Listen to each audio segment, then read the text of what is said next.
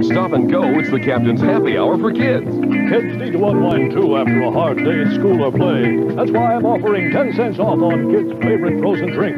Stop and Go Snow Float in special Captain Convenience Cup. Snow float from all fridge. Don't miss Stop and Go's Happy Hour for kids, 3 to 5 weekdays and all day Saturday and Sunday. Here's looking at you.